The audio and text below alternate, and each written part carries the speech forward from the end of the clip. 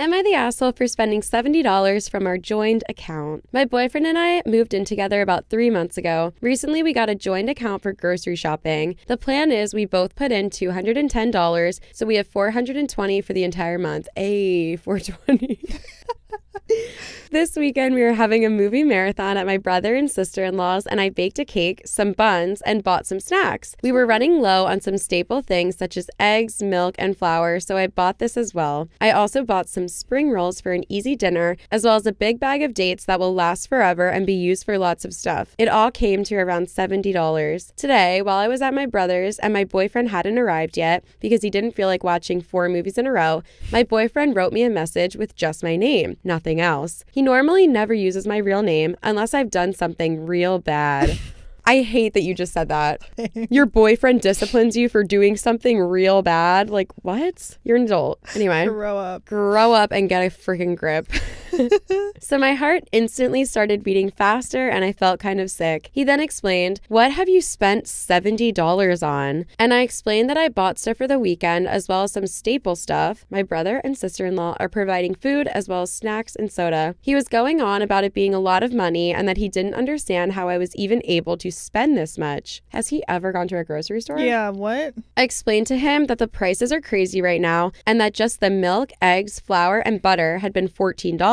Oh my God, That's I would like- expect 14 for all. I was that. gonna say 30. yeah. Milk, eggs, flour, and butter, all for $14? That's like the olden days. Yeah. Please. That's pre COVID prices. Yeah. Okay. He then wrote that he felt that I was being rude and that I'm not respecting him, which I did not feel applied to my behavior whatsoever. I honestly feel like it was the complete opposite. I am now left with an awful feeling. My parents have always had a dynamic where my dad got mad at my mom when she spent money. I don't want this dynamic in my relationship, and now I'm kind of afraid that we will end up like that. I realize that $70 is a lot of money, but that's honestly the times we are living in, at least where we live. Am I the asshole for spending the money? No. No. That's also really cheap. yeah. I go to the store and spend $70 on just butter, girlfriend.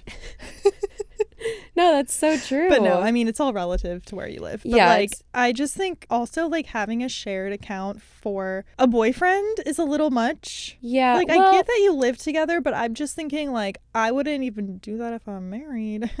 This one girl that I know bought a house and then her girlfriend moved in with her and they do this. Like they have a shared account where they each put in a certain amount of money every month and then they use that account to pay utilities and mm-hmm. house expenses and food and all that. And she said that that works really well for them and they're not married either, but they're just Yeah. like in a committed relationship and living together. Yeah. So I feel like it, their own. yeah, like it it could work, but I don't think it's healthy that your boyfriend is like tracking your expenses every time you spend a little more than he wants you to. Like I don't think that's fair because half of that money is yours. Yeah, and you're for the food stuff, you're both sharing all of that. Right. So like, why is he mad? Right. He's enjoying the cake and all that stuff too, the spring rolls. Yeah, exactly. Please. And like, is he mad because you're taking some of that food to your brother's house? Your brother is giving you food too. I don't know. I feel like the boyfriend is just a little bit immature and maybe just a Yeah. little bit selfish. Like, did he expect you to not contribute to the party, like the snacks at the movie marathon party? Right. And he just wanted your brother to pay for all of that and Right. you to just pay nothing? Like, I think you're just being a good friend and a good sister and a good team player. Yeah.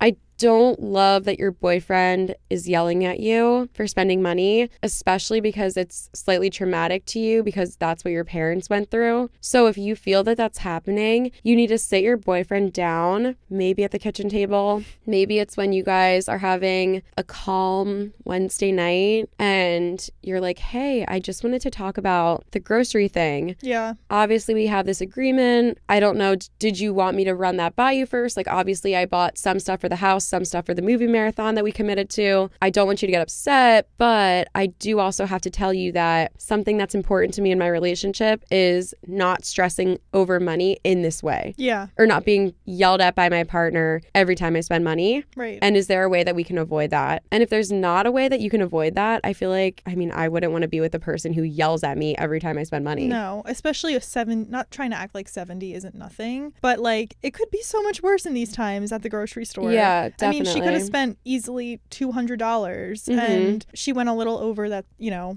that's not nothing, but like it's also put things in perspective. Like, yeah. And it's also one time. Yeah. Like, it's not like you're doing this all the time and he's never said anything, or it's not like he has asked you many times to like give him a heads up when you're spending more, or I don't know, anything. Like, he's just going straight into being mad the first time it happens. Like, maybe use open and honest communication for once. That's Boyfriend. like our theme of the day, I think. Every day, I think. Every day, Yeah, striving to be open and honest exactly. with people that are close to us. Exactly.